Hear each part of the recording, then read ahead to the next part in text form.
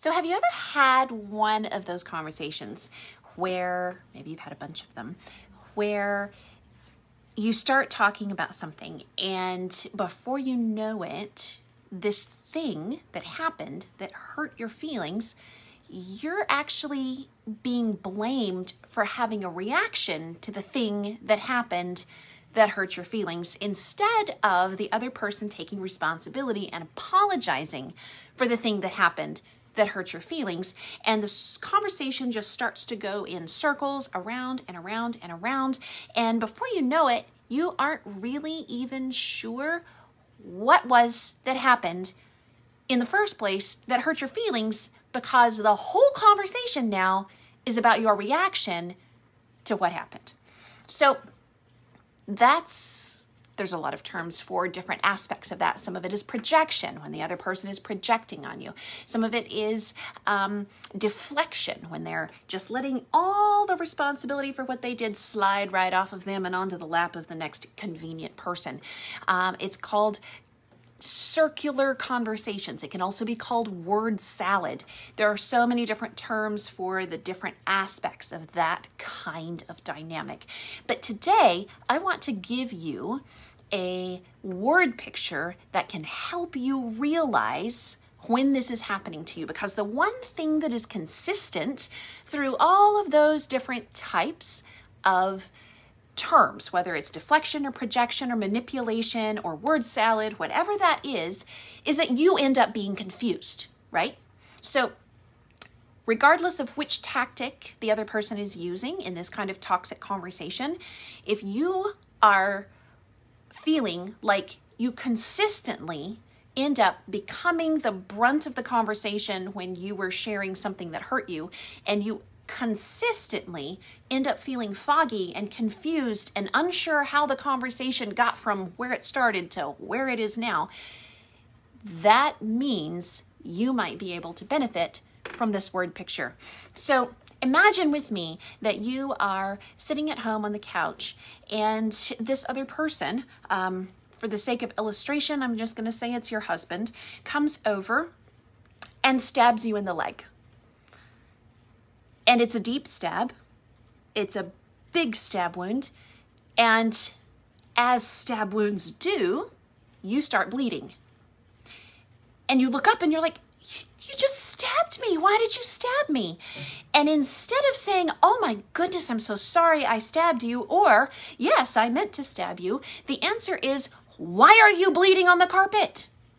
How dare you bleed on the new carpet? You're bleeding on the carpet. Shame on you for bleeding on the carpet. And you're sitting there saying, But, but, but you stabbed me. That's why I'm bleeding on the carpet. let's talk about the stab wound. And they're like, No, no, we're not talking about the stab wound. Stop derailing the conversation. Let's talk about the blood on the carpet. You need to stop bleeding on the carpet. You always go bleed on the carpet and it always leaves stains, and I hate having stains on the carpet, so you need to stop bleeding on the carpet. In fact, I want you to get up right now, stop bleeding on the carpet, and go get one of those shampoo things, rent one of those shampoo machines, bring it home and clean this blood out of the carpet before it sets in the stain. And you know what? If that doesn't work, then you need to go and you need to call carpet cleaners, professional carpet cleaners, and make them come here and clean up your blood on the carpet. Stop bleeding on the carpet. And everything is centered around your reaction to what was painful instead of the action that caused the pain. It's all about you bleeding on the carpet, not about taking responsibility for stabbing you in the first place. Now, let's just say that time passes. You shampoo the carpet. Your wound starts to heal. Maybe you did and maybe you didn't go to the doctor to actually get care for your wound. It's a little infected, but it's scabbing over now. And so one day you're sitting there in the living room and he comes back over and he reaches over and in one big scratch takes his fingernails and rips the scab off. And what happens? You're bleeding on the carpet again. And immediately, as you recoil from the pain and the shock and the unexpected action of ripping the scab off of the wound, And he looks down and he says, Now you're bleeding on the couch. You're bleeding on the carpet and the couch. How dare you? We've had this conversation before. You are not supposed to keep bleeding on the carpet. And now you're bleeding on the couch. I can't believe you are so irresponsible. I can't believe you keep doing this, he says. And then you say, Look, it's it's because you stabbed me and I haven't healed yet. It's still really sore and you just ripped the scab off so it's still bleeding. And then he says, "Why can't you let that go?" Why are you so bitter? Why can't you forgive me for stabbing you? You know you deserved it. Why won't you just leave the past in the past?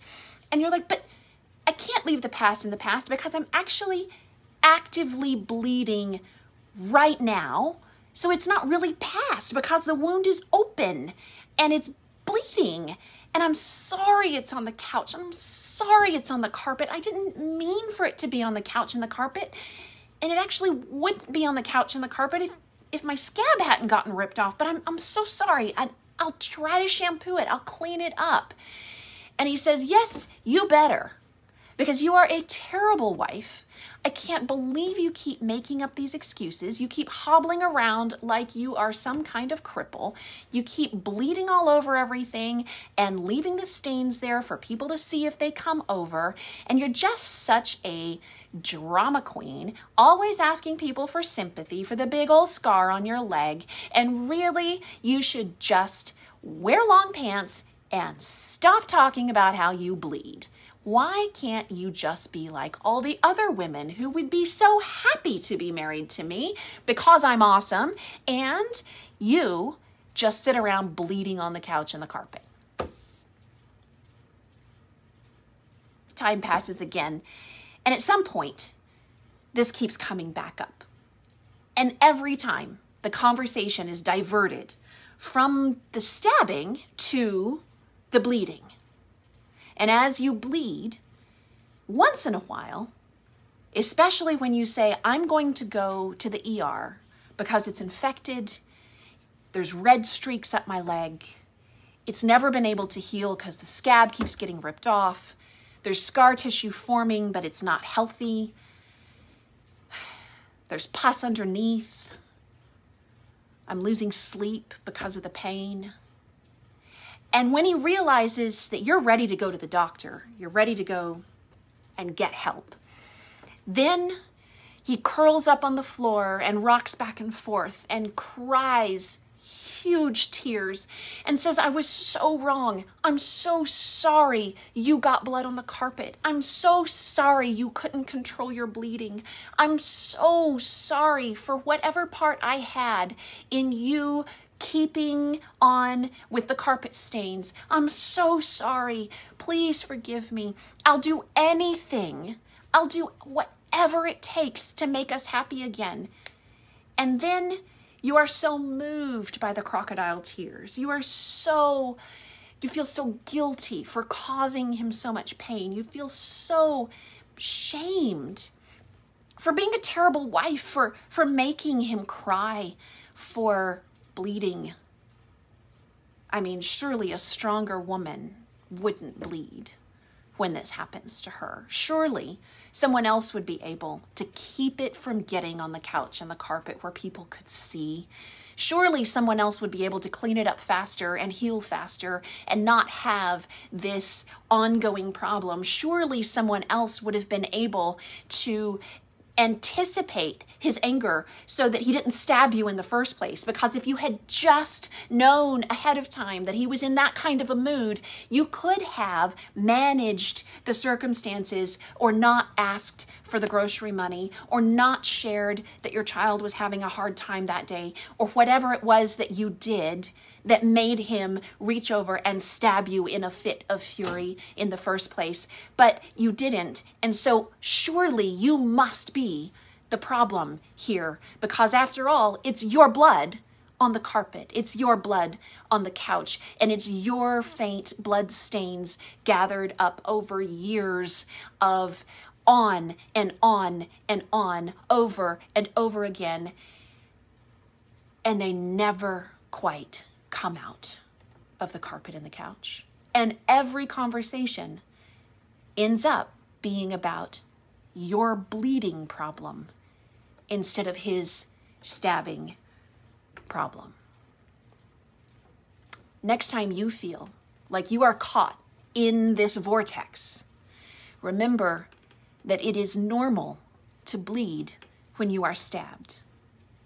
And the right thing to do when you have been wounded is to go to the ER, not to have a conversation with the person who stabbed you about whether or not it really happened, was really intended, or was your fault for bleeding.